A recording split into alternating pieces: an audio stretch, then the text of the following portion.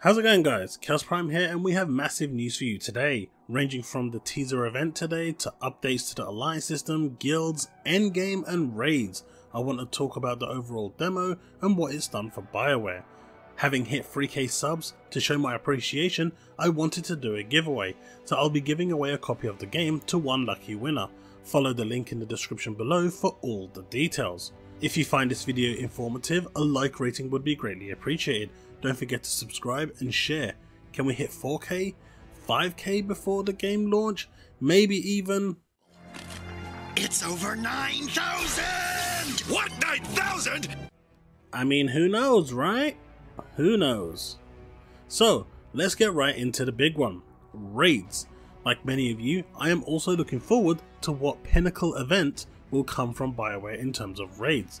It's the ultimate challenge and one that requires the most teamwork from any event to complete. At least that's the thought process behind it anyway. So in a recent interview, Eurogamer asked Ben Irving about raids for us and here is the response Ben gave. The problem with raid is it has a connotation, that it requires more people or has 5 bosses in a circle. That's why I'm using the word aspiration content. In other games, a raid is that, and while I think that is important to a game like ours, we have an idea which ticks the needs of why a raid is important. It's a similar thing. It's the thing you'll schedule with your buddies, will be hard, requires tons and tons of coordination, and then there'll be ways to show off if you're good at that or not. These as yet unnamed activities, which will still be designed for the usual four players, form just part of what you're doing in Anthem after you finish the main narrative path. You'll have strongholds, just free at launch with more coming, to grind through, contracts, which are bounty type missions featuring encounters in Anthem's open world, and free play, which lets you roam and see what's going on in Anthem that particular week or day. So it's now confirmed that the party size for raids, or aspirational content as they put it, will remain at 4 players, and I'm okay with this. The Division 2 takes a 4 player experience and makes it an 8 player experience for the raid, Destiny takes a free play experience and makes it a 6 player experience for the raid. It's a nice change to see something set in stone and balanced for this across the board. What's your thought on this? Let me know in the comments section below. Excited for these so-called aspirational raid type of encounters? I know I am and I can't wait to get stuck in and tackling them. Next we move on to the world of Anthem and its evolving nature and how things will change over time. How what you do even in the repeatable quests will be varied and most importantly, how they will continue to deliver a story narrative for years to come. Ben says, You're not always going to be seeing the same exact stuff. Things can change. You don't always understand why, but things happen in the world. We have plans and ideas to pay off on that. Events will point you to daily or weekly challenges of varying difficulties tied into ongoing story of how the mysterious anthem of creation is affecting the world day. Meanwhile, back in Fort Tarsis, the game's cast of NPCs will be refreshed with new things to talk about. They have a bunch of things to say, and then they'll run out of stuff to say, and then we'll add some more things. The cadence of that we have to work out. We believe telling an ongoing narrative is important, so in our story planning, we've mapped out several years of the story arc, where things go, not all the specifics, but the big beats of how it will happen. We can tell a narrative in or out of the game, with super expensive cinematics or with little quips and sentences and lore in the world. We just need to find that balance of when do we need a new role playing conversation so someone can teach you something. When do we add a new mission with a cinematic? We'll be adding all the stuff after launch, we just need to get the right mixture of it all. So we can see from this a lot of work and thought process has gone in. Effort to make this a really immersive experience is given at every stone turn and there will be something new for you whether you're in the fort or in the world. Bioware hopes to have all fronts covered, I just hope they don't do too much and trip along the way. I love the fact that the story is at the center of everything they do. The narrative is really important for me. I want context and reason. This is what makes me excited and I hope it continues. Next we get more information on alliances and guilds. Ben had the following to say. The alliance system, what is that and how does it work? The alliance system is a way for you and your friends to be rewarded for playing the game.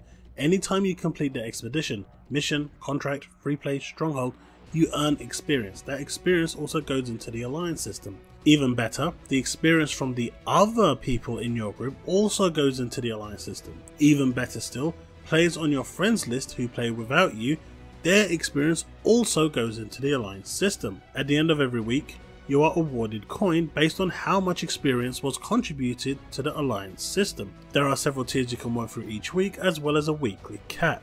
So this is just confirming what we knew before, with the Alliance system essentially being the main source of coin gain with weekly caps and tiers. Pretty cool stuff. Now the question remains, what is the cap and what do the tiers actually entail? What do you have to do to move up the tiers? Is it something that happens automatically? Is it something that will reward you with more coin based on your tier? Or will this just be a ranking system with no real difference whatsoever other than being able to show your friends how much time you've spent in the game? Only time will tell.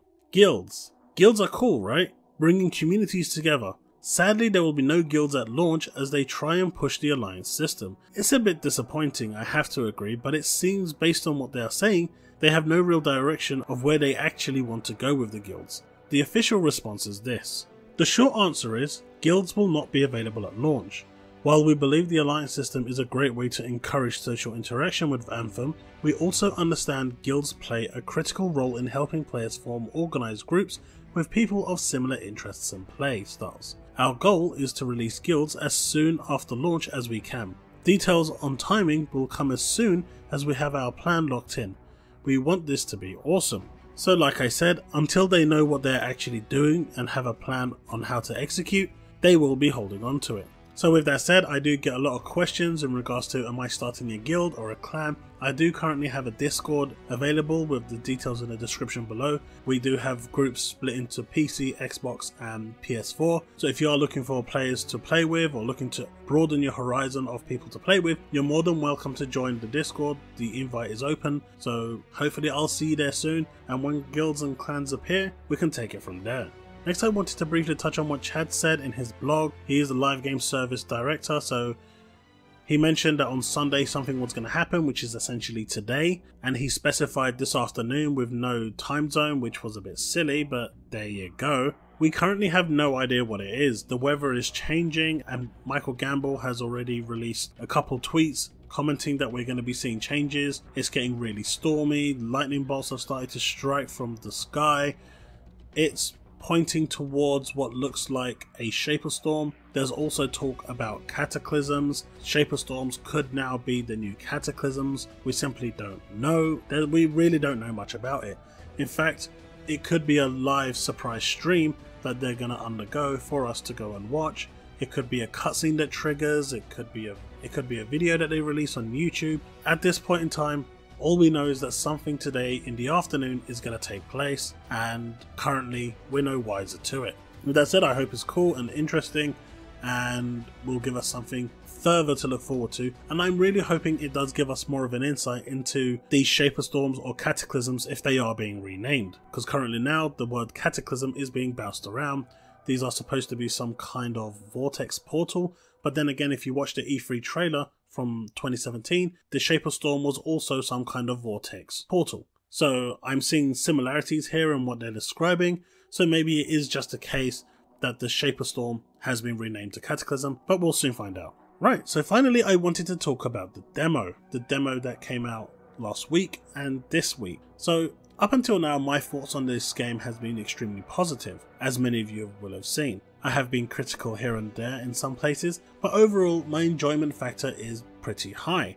I am really enjoying it and I want more. However, I do want to point out that this demo has hurt the game, and I think releasing the demos in this condition was a pretty bad idea. On Friday, I streamed the game and a bunch of people jumped into the stream, so thank you for that. And they were having mixed reviews. You know, some people were basically saying how they were really happy with the demo, they were enjoying it, Others were having a horrid time, sound cutting out, being kicked out of strongholds, ability UI just bugging out, suffering severe performance issues. A lot was going on. And though the 95% bug, which was probably the most critical one that they needed to fix, was fixed, I have to say that this demo, the last two demos in fact, has hurt the reputation of Anthem more than BioWare imagined, and it's a real shame. They really should have called these stress testing or something like that to test how the game runs in the open network. That way, people wouldn't care how old the build was or what condition. If you release the word demo, that's as close to the finished product as you're going to get. People don't care that it's 6 weeks old or 8 weeks old or 10 weeks old. People don't care about that. If I go into the PlayStation Store, if I go into the Xbox Live Store and I see a demo and I play the demo and it's great, I expect the final product to be of that quality. People don't pay attention to this is still being built and in process and blah blah blah. People don't pay attention to that because they see the word demo. Now, if you had the word beta or stress test or anything going according to that to indicate to the user that this was not the final release or nowhere near the final release, that would have been fine. Not a lot of people go to social media, not a lot of people go to Reddit, not a lot of people go around Facebook and things like this looking for this information. If they find it here on YouTube, great. If they don't, then they're none the wiser. So those people that are coming in, seeing, oh, look, Anthem's got an open demo. Let's try it out, guys. Get their mates all into it, go in four players, boom, crash. Alright, let's just go back into it, maybe something happened. Kicked out of a stronghold on the final boss. Let's go back into it. Now the sound's cut out and we can't even hear each other. Stuff like this ruins first impressions. And in a game like this, which is a brand new IP, first impressions matter. And I think personally, despite me being able to look past all this because I know that this is a beta at best, it's pretty much stress testing. As someone who's worked in the industry, I can tell you that an 8 to 10 week old build is light years of old data. But that's because I've got personal experience. You don't. And if you don't, you're playing the demo and basically saying, well, this is pretty piss poor. You know, the demo is buggy as hell, the gameplay is fine, the flying is great, the Colossus itself has been already confirmed that it's pretty much underperforming heavily. You need to pretty much spec it out before it becomes half decent. I mean, I'm personally happy after I've spec it, but as a vanilla Colossus, it's pretty poor. You jump into the Colossus and you're expecting to be a tank. You take three hits and you're down. I mean, that's not right. They're saying that they're fixing all this for the live release, but the live release is too late. This is the build that you've put out for everyone to see, and the build that everyone sees is what everyone will judge you by. If I was going to do a review right now, it wouldn't be great, but if I was to do a review with all those issues that they're saying fixed for the live release, my review would be completely different. But BioWare came out, EA came out, shoulders up, chests out, we are giving you the chance to play before you buy.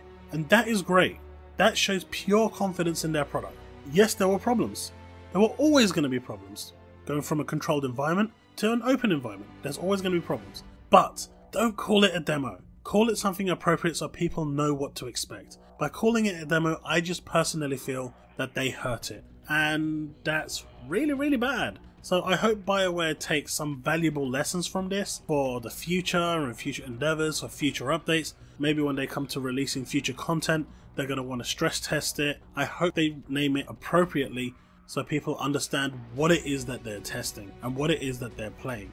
I don't know, you let me know in the comment section below what you think. I didn't want to end it on a sour note because I'm really hyped and pumped for Anthem, but from what I'm seeing around me, more and more people are feeling disappointed. And they're feeling disappointed simply because the demo was in such a bad state that calling it a demo was probably the most colossal failure that they could have done. I hope they learn lessons from this and recover from this. I personally will not be cancelling my pre order because I've played enough to know that I'm really interested in this. The social interactions between the characters are fun, engaging, humorous, and interesting.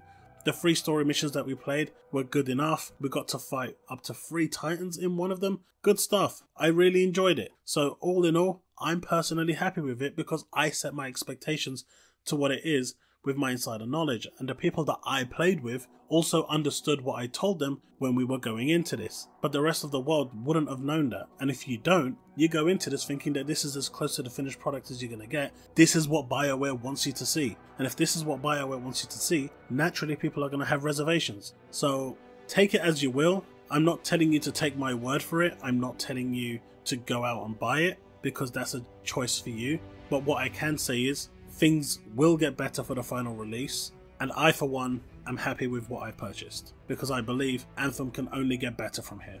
Right, thank you for watching, everyone. Leave your thoughts and comments below. If you found this useful, leave a like, subscribe, don't forget to share, and I'll hopefully see all of you in the next Anthem video. Remain legend.